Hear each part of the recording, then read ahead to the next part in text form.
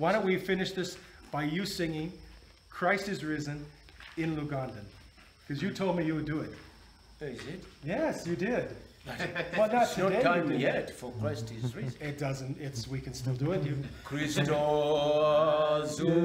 azukide mu bafu mukufa okufa akusambaze nabo ababadde montana. Abawadde obulamu now say, Christ is risen in Lugandan and truly he is risen.